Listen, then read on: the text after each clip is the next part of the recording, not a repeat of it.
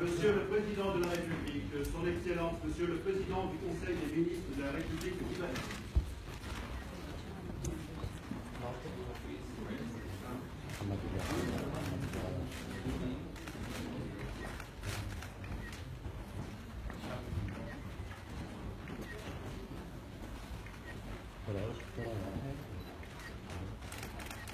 Monsieur le Premier ministre, Mesdames, Messieurs, nous sommes réunis euh, ici euh, pour vous remettre euh, les insignes de commandeur de la Légion d'honneur pour l'action qui a été la vôtre, qui est encore la vôtre pour le Liban, et pour une fois encore saluer l'amitié entre la France et le Liban, et vous y avez là encore largement contribué.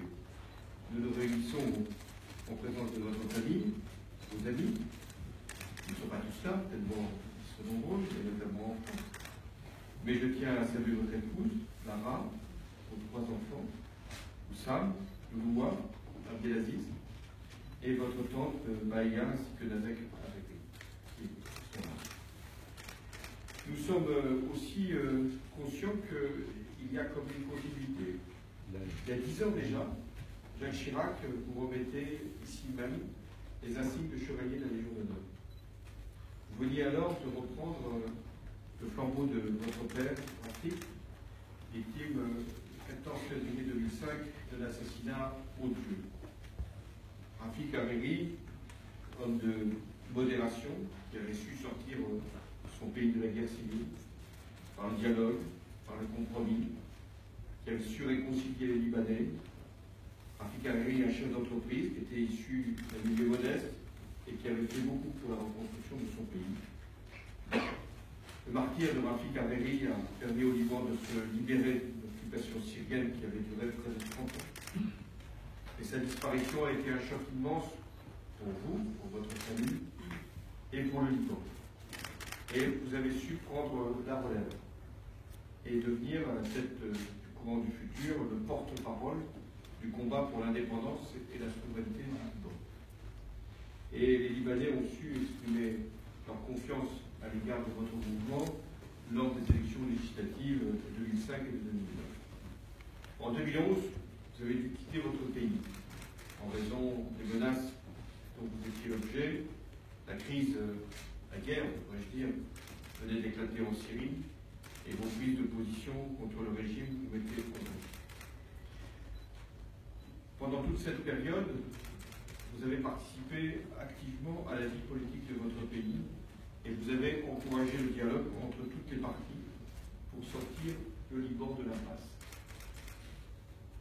Que de fois êtes-vous venu ici à Paris, à l'Élysée, pour m'entretenir de la situation au Liban, pour me dire que vous étiez disponible pour chercher des solutions, que vous vouliez rassembler les composantes libanaises, que vous n'excluiez aucune hypothèse et que vous étiez prêt à prendre le pari de l'unité du Liban comme vous l'avez toujours fait. Et c'est ce que vous avez fait en soutenant la candidature du général Michel Aoun, qui a permis de mettre fin à une vacance présidentielle qui a duré plus de deux ans et qui a empêché le Liban de pouvoir faire face pleinement aux défis qui sont encore les siens. Vous avez une fois encore illustré votre sens de l'intérêt général et des responsabilités et vous êtes désormais à la tête d'un gouvernement que vous avez appelé un gouvernement du regain de confiance, parce que c'était la confiance qu'il fallait réinstaller au Liban. Et il est essentiel que ce mouvement de confiance puisse se traduire à l'occasion de l'organisation des prochaines élections législatives.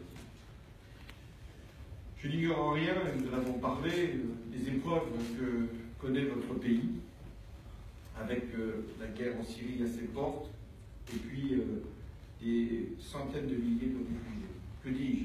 Un million et demi de réfugiés qui euh, font pour le Liban à la fois une pression en termes d'infrastructures, de services qu'il faut apporter, et en même temps une pression morale, car il faut trouver une solution pour ces personnes. Et vous avez su faire face. Mais le Liban doit aussi euh, conjurer la menace terroriste à la frontière avec la Syrie. Daesh est là et essaye de provoquer des incursions. Et puis il y a aussi des attentats que vous avez su conjurer. Donc tout cela appelle une solidarité de la communauté internationale à l'égard du Liban, de la France en particulier. Solidarité pour qu'il y ait un processus euh, qui euh, apaise les euh, douleurs du peuple libanais, que nous puissions apporter une aide humanitaire, c'est ce que fait la France, que nous puissions aussi convaincre les investisseurs de venir au Liban. Et votre présence à la tête du gouvernement y contribue. Je veux aussi souligner que vous n'avez renoncé à rien et que vous êtes toujours euh, à la recherche de la vérité sur la mort de votre père, de la même manière que vous défendez de manière constante le respect par le Liban de ses obligations internationales, comme votre soutien à la mise en œuvre de la résolution 1700 du Conseil de sécurité. Cher Saad Hamdi, dans cette période tourmentée, car elle est tourmentée, vous pouvez compter sur le soutien de la France. Et le Liban doit savoir qu'elle a avec la France une amie sera toujours. Aussi bien pour euh, les euh, joies, celles que nous pouvons partager aujourd'hui, que pour euh, les épreuves, celles que vous connaissez et que vous avez connues. La France, d'ailleurs, reste engagée au sein de la FINUL. Je rappelle qu'il y a 845 soldats français qui sont présents dans cette opération de maintien de la paix. Et il y a encore un mois à peine, le ministre de la Défense, Jean-Yves Le Drian, était au Liban pour mettre en œuvre ce que j'avais annoncé, c'est-à-dire le plan d'aide aux forces armées libanaises.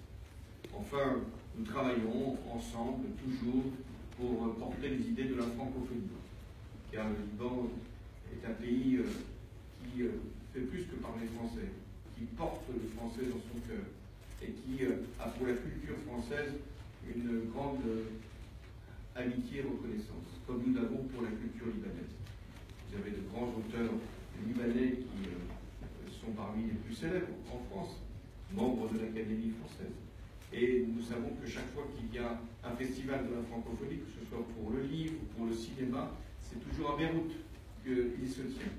Ce qui fait que nous avons même dans les moments où il y avait des tensions très fortes, où il y avait une crainte même pour la sécurité. Nous avons toujours voulu que ces événements puissent se tenir, comme pour montrer notre attachement et à la francophonie et au Liban. Voilà pourquoi cette cérémonie, bien sûr, euh, elle est euh, justifiée par euh, votre action, par votre amitié pour la France, par le soutien que vous avez apporté à notre politique étrangère dans les moments les plus délicats, mais elle est aussi une cérémonie pour saluer le lien indéfectible entre la France et le Liban. Voilà pourquoi, Chassan Hariri, ce soir, c'est un grand jour pour vous, pour votre famille, pour la République française et pour l'amitié entre la France et Liban.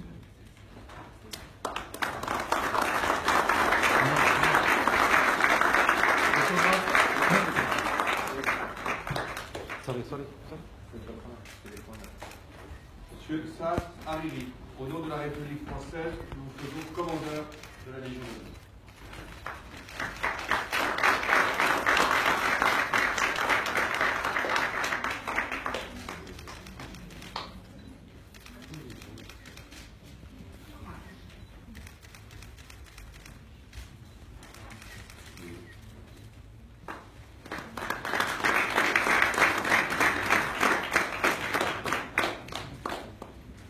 Monsieur le Président François Hollande, Mesdames et Messieurs, c'est un grand honneur, Monsieur le Président, de recevoir de mon main les insignes de commandeur dans la Légion Cet honneur, vous le faites à ma famille.